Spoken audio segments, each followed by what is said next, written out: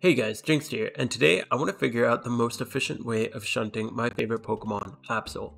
Absol's a rare encounter, so while I was working on my egg hunt, I thought maybe there was another way. You Buy Dittos, You- breed egg, you- cramp your head, now your PC. looks a mess. And why is it impossible to Finish all eggs on charm. There's got to be a better way. I ran around uh, to all its different spawn locations and collected data from each spot. Before going into the encounter data, I just want to give a quick explanation of two special encounter methods that I used here. These two are egging and repel tricking. Egg shiny hunting's pretty straightforward. You just buy a bunch of the Pokemon you want and a bunch of Dittos or matching male egg group Pokemon and breed it with them. The shiny chance is rolled when making the egg and not hatching it, which gives uh, the benefit to egg making because you can mass make them on a shiny charm and then hatch them later on.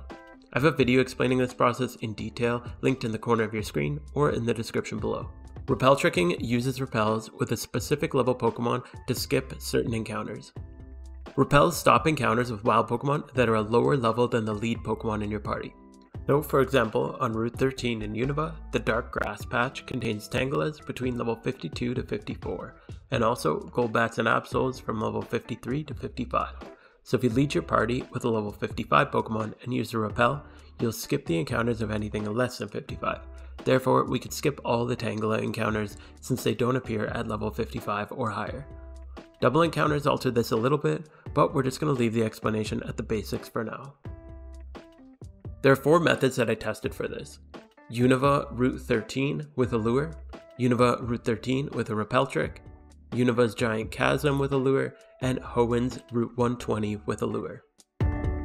I did between 2 to 3 hours of data collection for each of these spots, and then averaged the per hour data at each location. Let's start by doing a quick overview of the costs of egg hunting Absol. As I mentioned before, I have a video all about egg hunting that breaks down the average cost, so if you're curious how I got these numbers, check that out. The summary is that it'll take about 500 hours and 87,200,000 Pokeyen to egg hunt Absol. We'll use those numbers as our comparison point for the following spots. Before we start at any spot, make sure you're using a Swarm, Illuminate, No Guard, or Arena Trap Pokemon at the lead of your party during the hunt at any of these spots in order to increase your encounter rate. Starting with the Route 13 spot, just above Undella Bay, there's a little island with a patch of dark grass. In it, Absol can spawn between levels 53 to 55. Most of the other Pokemon that show up at this location are between 53 and 54, with one exception being Golbat. I tested repel tricking at level 55 and found Absol to be about a 12% encounter rate. I averaged about 250 encounters per hour doing this, so I got about 30 Absols per hour. Doing this also took about 60 max repels per hour. This means on average it'll take about 1000 hours at the base shiny rate of 1 in 30,000 and 60,000 max repels to do this method for Absol. This leaves us with a total cost of 54 million for the repels over the course of 1000 hours. When using donator status, the shiny rate's 1 in 27,000, meaning it would take 900 hours and 54,000 repels for a total cost of 48,600,000 Pokeyen, not including the cost of donator status. Putting a shiny charm on top of donator status can also improve your odds. However, the cost of these charms would be hundreds of millions to keep up for all these hours, so I wouldn't recommend that. You're likely to get about 8 phases while working through this spot as well, and here are the Pokemon that you can get here. That puts the total cost difference between egg hunting and repel tricking at 33,200,000, with a time difference of 500 hours. This means as long as you're making 66,400 per hour, egg hunting is actually the more effective method here. Now let's take a look at luring at the same spot. Doing this, I got an average of 425 encounters per hour, but only 19 were Absols. It also took about 11 lures per hour to hunt here, which cost 1,500 each. So at our base rate of 1 in 30,000, it would take 1,579 hours and 26,052,632 Pokeyen on average to get a shiny Absol. With Dono, it would take 1,421 hours and 23,447,368 Pokeyen. If you include charms, either linked or on your own on top of Dono, it comes down further again, but buying 1,300 hours worth of shiny charms would cost an astronomical amount, so it's not really a realistic comparison. This means at the base 1 in 30,000 rate, you'd be spending 61,147,368 Pokeyen less hunting here, but it would take an additional 1,079 hours to do this instead of eggs. This means you only need to be earning 56,670 Pokeyen per hour to make it more efficient to egg hunt. You're going to reach an average of 22 phases here, so if you like the other shinies at this location, this could be a method to try out. Hey, maybe you'll get lucky and beat the average.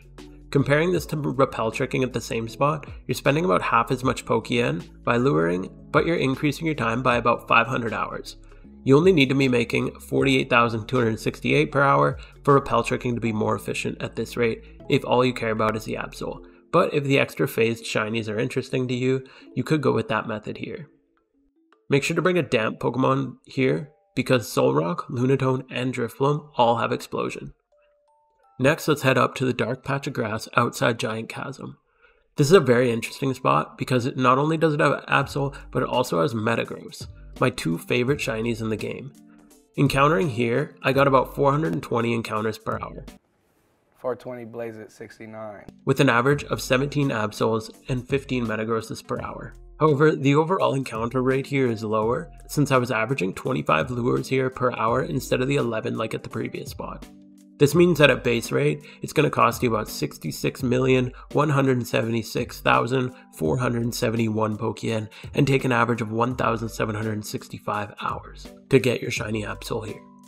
With Dono, it's about 1,588 hours and 59,558,824 Pokeyen. You'll also average 25 phases here before finding a shiny Absol. This is much more time and expense than the previous spot, you have the Metagross encounter chance. When Metagross is included in, the averages work out to getting either Absol or Metagross at an average of 938 hours and 35,156,250 Pokeyen on lures. So this may be worth trying out if Metagross is a goal of yours like it is for me. The final spot I tested was Hoenn's Route 120. This is a tall grass spot, so I found that I was getting less encounters per hour here due to having to walk instead of biking. I had an average of 320 encounters per hour with an average of 12.5 Absols per hour. This puts it at a whopping 2,400 hours. Since we're walking and the encounter rate per step is relatively high though, it only takes about 10 lures per hour here, so it would cost you approximately 36 million on average to go for 2,400 hours with lures. With Dono, this is cut down to 2,160 hours and 32,400,000 for the lures. While this is an extremely high amount of time compared to the other spots, this is actually a really common spot for people to hunt for due to the other shinies that you can get here. I found about 10 marsh Marshtomps per hour, which I think evolves into a really great shiny. If any of these interest you in addition to Absol, this could be a good spot to try out. You'll take an average of 26 phases here before reaching Absol, so I wouldn't recommend coming here unless you really like the other Pokemon here. So there you have it. It seems like eggs are definitely the fastest method, however, there are some much cheaper ways to go about it, especially if other shinies on this list, like Metagross, Swampert, Kecleon, or Tropius are interesting to you, or if you don't have the PC space or funds to jump into an egg hunt right away. Let me know if you try any of these spots in the comments below.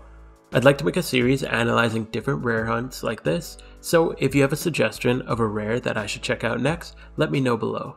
Also, if you're curious about the math that I use to calculate all these, check out the spreadsheet that I have in, linked in the description below. Thank you all for watching all the way to the end, and don't forget to subscribe, and I'll see you all next time.